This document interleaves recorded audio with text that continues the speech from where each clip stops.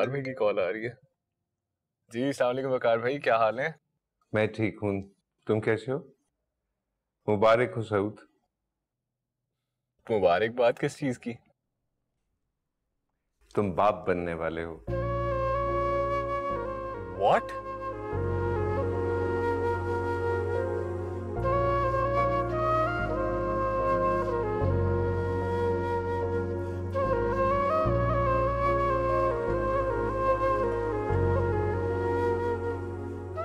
अम्मी आप ज़िंदा होती हैं आज हमारे साथ होती कितनी खुश होती हैं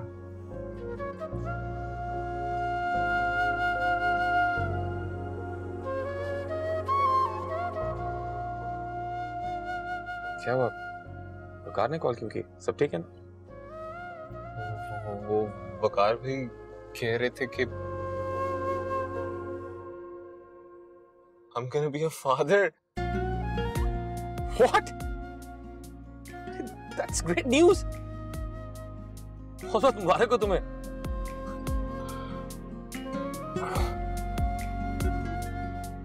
कॉन्ग्रेचुलेशन साउथ बहुत मुबारक हो तुम्हें Thank you. बहुत मुबारक हो सब Thank you. Thank you. वकार भाई अम्मा जान और सारे घर वाले मुझे वापस ले जाने आए अच्छी बात है। बहन का घर आबाद हो जाए। भाई के लिए इससे ज़्यादा क्या खुशी की बात होगी? ज़रूर जाओ।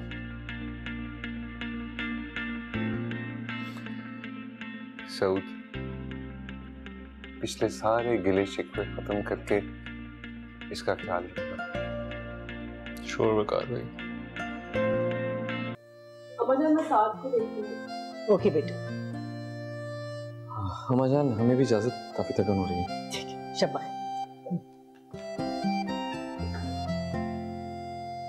बेटा तुम भी सारी पुरानी बातें भूल जाओ।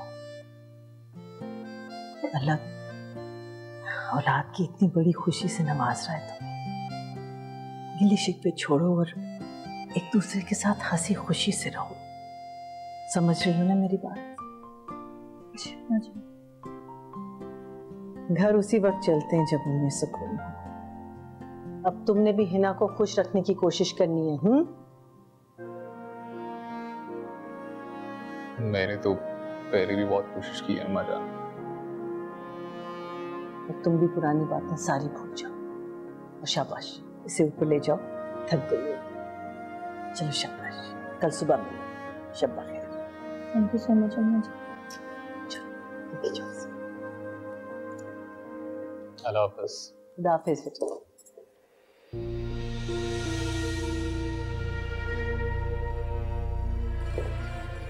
ये क्या ड्रामा है अम्मी आप लोग तो डिनर पे गए थे ना इसे कहाँ से साथ लेके आ गए?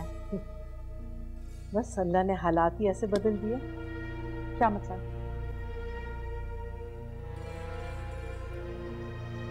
हिना उम्मीद से है।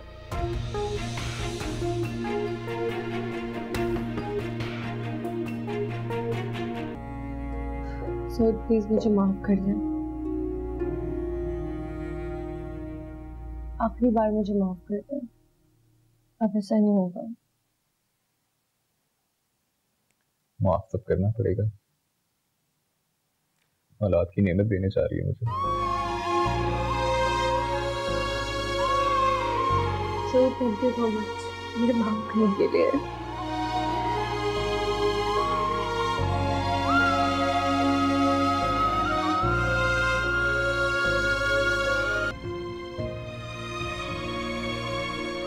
चले आपको कहीं ना जाने दो।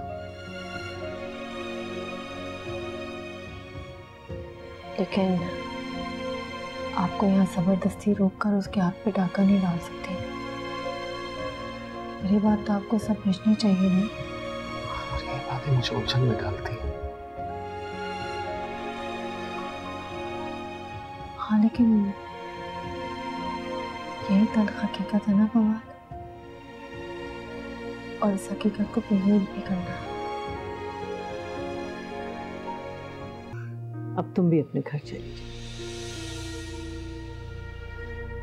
मुझे पता था आप यही कहेंगे। आपके रवैये से मुझे अंदाज़ा हो गया था कि आप चाहती हैं कि मैं इस घर से चली जाऊँ। क्योंकि आपको भी बोझ लगने लग गई हूँ ना मैं। कोई मेरा साथ ही नहीं दे रहे इस घर में? भाइयों को देखो वो भी कुछ नहीं बोलते और आप भी नहीं बोलती। कमाल है वैसे अम्मी। इधर बैठो। इधर आओ, बैठो। इधर बैठो।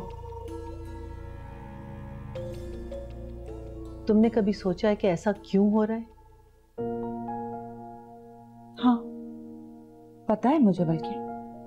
आप अपनी बहुओं से ज़्यादा प्यार करती हैं। बेटी से बिल्कुल नहीं करती, इसलिए। हमेशा से यही शिकायत थी तुम्हारी। पहले तुम सारा को नापसंद करती थी, फिर फरवा को, और अब हिना को भी। कान खोल कर सुन लो। अब मैं तुम्हारी किसी भी गलत बात में तुम्हारा साथ नहीं दूँगी। हद होती है बेटा। और अब तुम्हें पता है कि सब लोग तुम्हारी मौजूदगी को नापसंद करने लगे। और इसकी वजह भी जानती हूँ मैं ये जो इनकी बीवियाँ हैं ना, ये पढ़ाती हैं पट्टी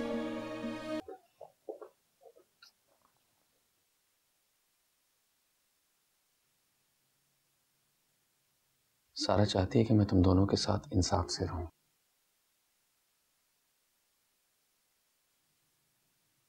कल उसके पास था। और आज तुम्हारे पास हूँ।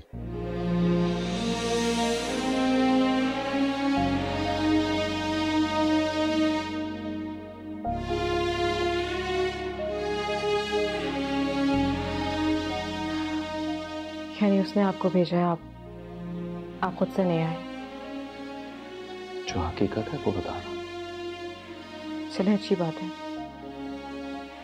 आपने सब कुछ साफ़ साफ़ बता दिया ताकि इंसान किसी किस्म की खुशफहमी में ना रहे भाभी आई एम रियली सॉरी ऐसे ही। भाभी मुझे माफ़ कर दो।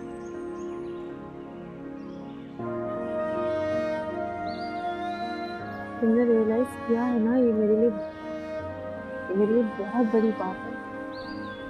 और अब बार बार ऐसे माफ़ी मत मांगो मुझे अच्छा नहीं लगता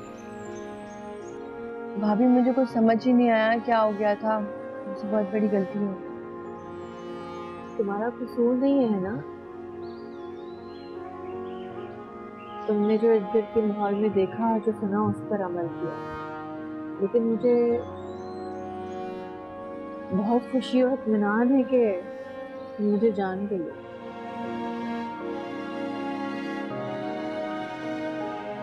आपका दिल बहुत बड़ा है। फवाद भाई नज़र नहीं आ रहे? आ, फरवा के पास है? क्या? भाभी आपको कभी कुछ महसूस नहीं होता?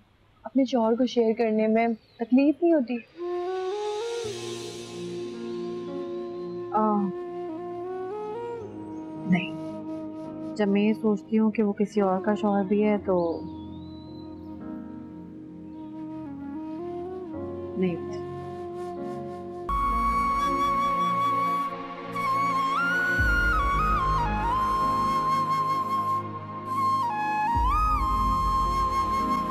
सामने मुझे कहते हैं जी हेरा मानी सब्सक्राइब करें यूट्यूब चैनल अगर आप ए आर वाई के ड्रामे देखना चाहते हैं और अपना बहुत ख्याल रखेगा थैंक यू